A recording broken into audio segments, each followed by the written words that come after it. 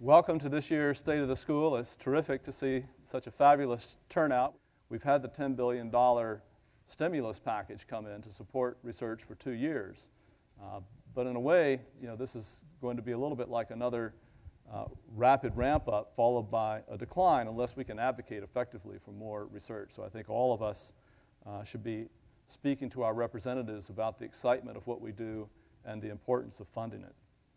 Uh, this line shows the, the, funding to medical schools uh, more broadly. Uh, the next one shows our own growth, largely uh, tracking other medical schools until the last several years. And actually, we've already got some foreshadowing for fiscal year 09, and we have a very steep increase in, in 09. I wanted to spend a, a few minutes talking about our new uh, president, Morty Schapiro.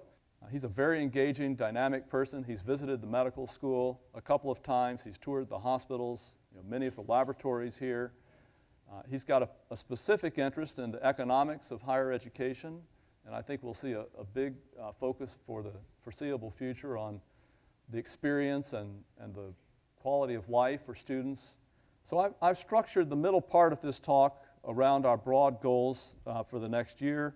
And these really focus on our mission areas. The first, to provide an outstanding contemporary educational experience.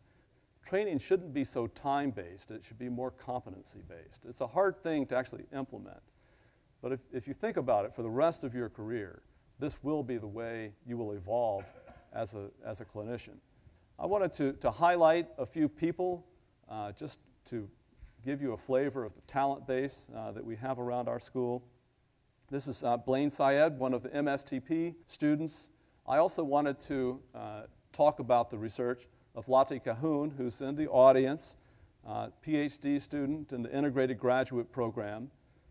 Second goal to, to have a distinct, collaborative, and high impact research enterprise.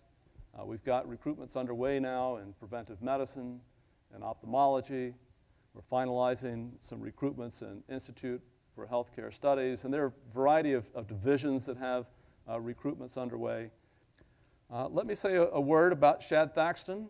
Uh, in the Department of Urology, another MSTP student from Northwestern, he received this year the HHMI Early Career Physician Scientist Award. One of his advances has been to come up with a, with a very clever assay that allows the detection of proteins, and prostate specific antigen, or PSA, would be one example of these where his research has allowed the capability to increase the sensitivity of detection about 10 to the 6 or a million fold. Let me mention that uh, the construction site that you see going up, even with uh, some of the finishes on the outside of the building, is going to be exciting for the next 50 years here. Uh, the Ann and Robert H. Lurie Children's Hospital of Chicago is scheduled to open in 2012.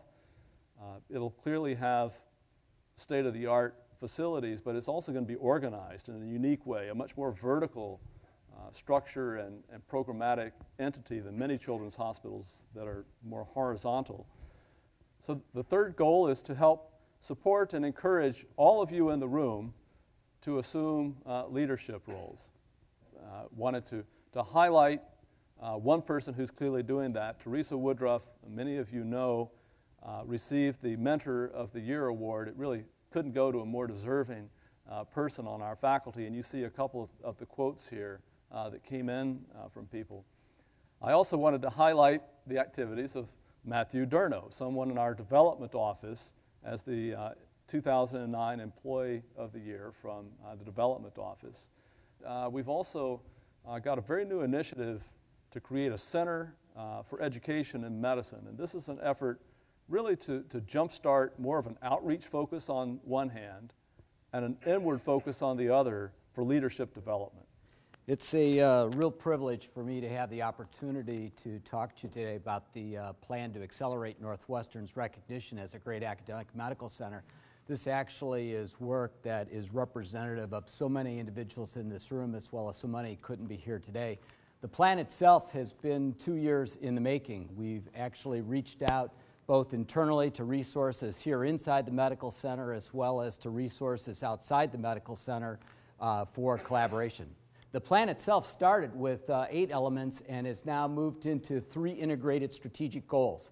You can see them here delivering exceptional care, advancing medical science and knowledge, and developing people, culture, and resources. And I'll come back and talk a little bit about that in just a second.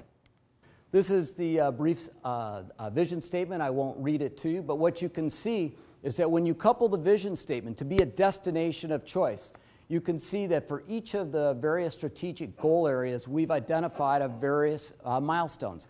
You can actually see top decile performance here. You can see being a U.S. News and World Report honor roll hospital, an honor roll uh, medical school, or a top 10 medical school.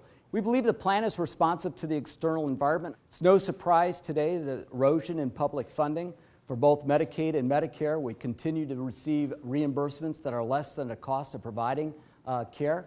And so we need to provide more coordination of care, and we're looking at a variety of opportunities for us to do joint fundraising, to be able to find additional resources to advance the plan.